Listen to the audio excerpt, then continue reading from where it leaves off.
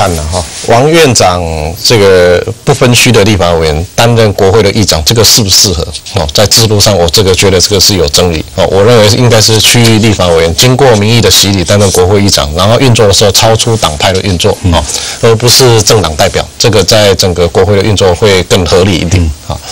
那第二点就国民党修改内规为王王金平修改。假如刚刚这个邱义雄所提到的，这个我我的看法。就就站在政党竞争的一个立场，这个无所谓啊，这个要连任三届四届，只要说对党党国有贡献啊，这个这个是国民党的家务事啊，这个我们我没有意见啊。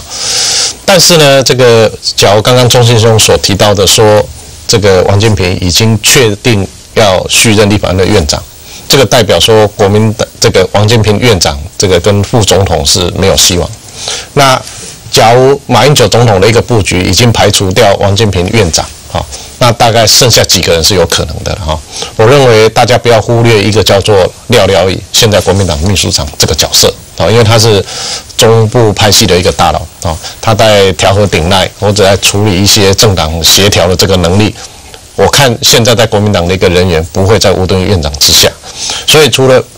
吴敦义院长之外，哇廖了宇，我认为是一匹黑马啊。那假如说国民党的党内的副总统的一个竞争趋于白热化，因为像我昨天啊在高雄市跑团啊，就有这个支持这个吴敦义的这些立法委员或民意代表，已经在帮他铺路啊啊的走到哪里，这个讲到说到底这个这几年的经济发展状况。他几乎大部分的时间都归功于吴敦义，而不是归功于马英九，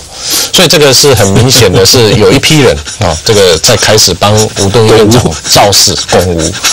所以我我我的判断，搞不好到最后真的是摆不平的一个情况之下啊。可能又回到说选择萧安堂，因为毕竟还是嗯没有争议的一个选择，所以很难讲说到底是什么。不过现在可以看得出来是说，我想吴敦义这个这个王建平院长，毕竟在马英九的一个眼光里面，毕竟没有获得关爱的一个眼神。